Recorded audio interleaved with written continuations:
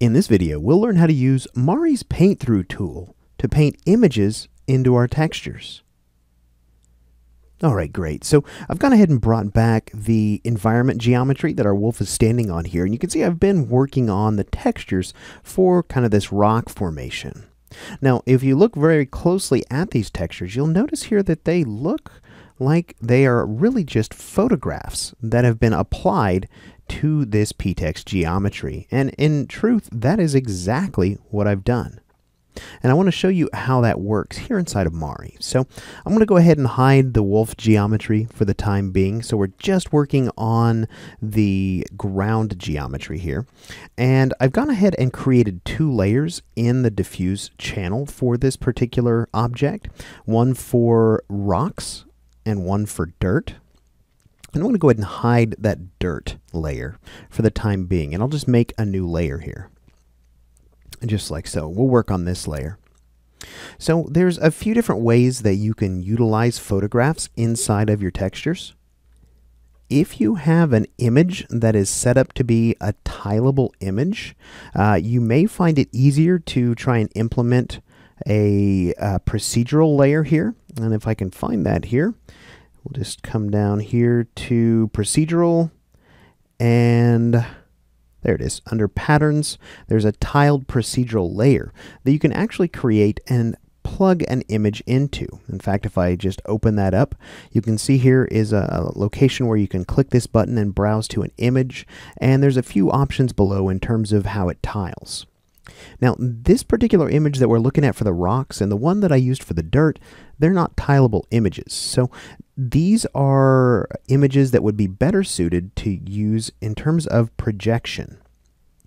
Now this is not a new concept, projecting an image into a texture. As a matter of fact, ZBrush can do this as well. If you're uh, familiar with the process of poly painting your textures in ZBrush, ZBrush has a tool called Spotlight that can be used to actually project an image like this rock texture into your poly painted textures. Now inside of Mari, what we're going to do is we're going to use a tool called the Paint Through tool. Now that tool is actually currently selected here. Uh, you can actually use the U key on your keyboard to select it if you don't have it selected. But this tool is going to require an image of some kind. Now, if you don't have this open, you'll want to come over here to your palettes and open up the image manager. And I've got mine open right now, so I'll just jump over to that palette and you'll see that I've loaded four images into it. Now we can load and remove images using these buttons down here, or we can just simply drag them from an Explorer window into this tab, and that will add them to our project. Now these images aren't the greatest images in the world. Typically when I'm using a texture or an image as a texture like this, I like to use uh, photographs that have a little bit more neutral lighting. This had uh, a, a, pretty sunny day involved when these photographs were shot. You can tell based on how dark and crisp these shadows are, but it'll work for our demonstration here. So now inside your project files, you'll find these two images here, these first two. Now these third and fourth images I don't have rights to redistribute, so instead of including them in your project files, you'll find a text file with links to these images, so you can go out and you can download them on your own. But I'll go ahead and use one of these dirt images for our example here. We'll go ahead and double click on that just to show you what that image looks like here. There we go. And you can actually zoom in and navigate around inside this image, inside this little window, just as if it were inside your canvas as a piece of geometry or something. So you can see this is actually a pretty high resolution image. And I like to use really high resolution images. One, to uh, basically gauge the resolution I have my PTEX textures set up for. Um, so what we can do here is we can actually use our paint through tool to paint this texture in and see if we actually have our PTEX resolution set up high enough for our project's needs. And you can see here with that 4x4 uh, configuration that we did per face, that's actually a pretty good resolution for this asset. If I come in here and show my wireframes, you can see those polys are still really, really small, and we're getting a lot of good texture here. So um, this is actually a pretty good resolution for this demonstration. But we'll go ahead and take this image of this dirt, and I'm just going to drag it over and drop it on my canvas.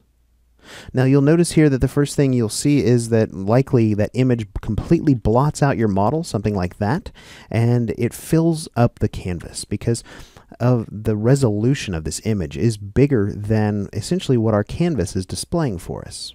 So I have the heads up display turned on right here. You can see this text in the top left corner.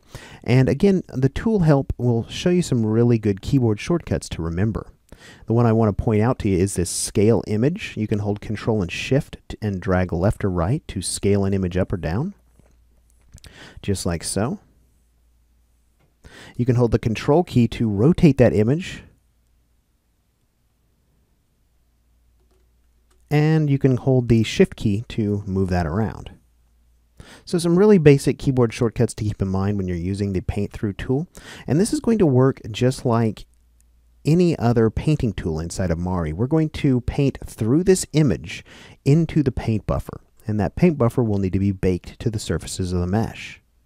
Now, if your image is too opaque like this, hold the shift key down and use the plus and the minus keys to change the op uh, opacity of that image until you can actually see some of the geometry behind it. And that way you can kind of target an area for the dirt.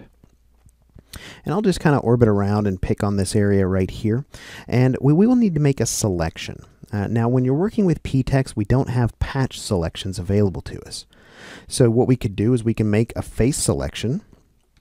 Holding down the S key to temporarily switch to my selection tool, we can come in and make a face selection, sort of like that. But you can see the problem here is in the way this selection is rendered. Those polys are so small, it just looks like a solid green mass. So what I would recommend is instead of making a face selection, come over and make an object selection in this case.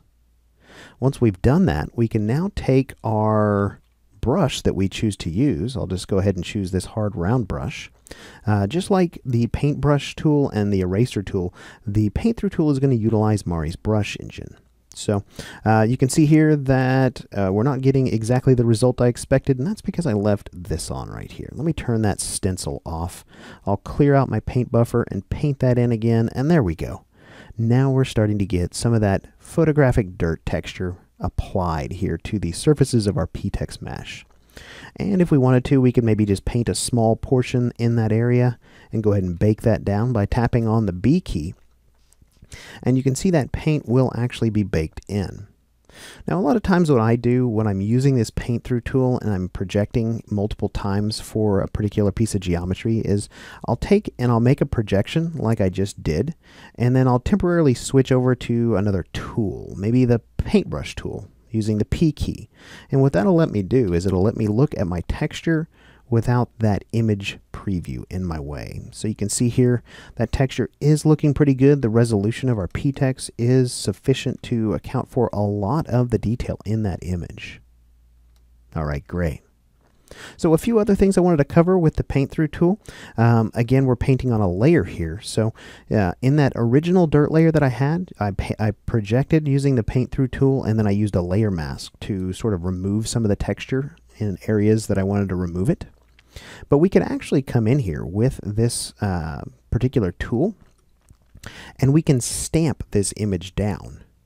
You'll notice up here in the Tool Properties toolbar, we have uh, a stamp button. So if we come in here and stamp that, you'll see here that we actually stamped that texture into the paint buffer. I've switched to the paintbrush tool now, but you can see here if I go ahead and orbit, that texture is in the paint buffer. And if we wanted to, we could go ahead and bake that down just by tapping on the B key. Now, more than likely, that isn't going to be a perfect projection because we've got a lot of those edges that the edge masking for our projection is going to prevent paint from, from uh, being applied to.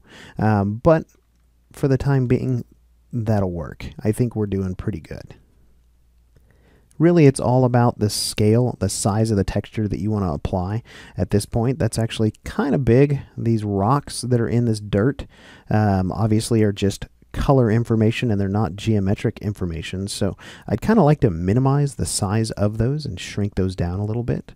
But uh, let's come over here to kind of this area we haven't projected on because I want to show you a couple of other things that are available to you with this tool. Go ahead and jump back to my paint through tool here. I'm going to shrink this guy down, zoom in a bit closer. And you saw that I had the stencil mode enabled. So stencil mode is really uh, for images that have transparency in them. Uh, this particular image doesn't have transparency. So that's why when I had that stencil selected, you saw me just painting here and it really wasn't doing a whole lot. So what we do have available to us here that we can use with these images is these luminance and inverted luminance options. So if we came in here and used that, we would be painting based on the luminance values in the image. And this is going to be a little difficult to see on top of that rock texture, but depending on which of these two that we have selected, we should get different results where more paint is being um, brought through in either the black pixels or the white pixels and so on and so forth when it comes to the, the sort of in-between pixels. So there's a lot of functionality built into this paint through tool beyond just actually taking an image and projecting it into your textures. While that is um, probably the most common usage for myself and probably will be for you too uh, when it comes to um, using this tool, there are some other options available to you to explore when it comes to Mari's paint through tool. All right, fantastic. With that said, in this video, we've learned how to project images into our textures using Mari's Paint Through tool. Let's go ahead and move on to our final mo uh, module and learn about some things that we can do in terms of finishing off the texturing process here inside of Mari.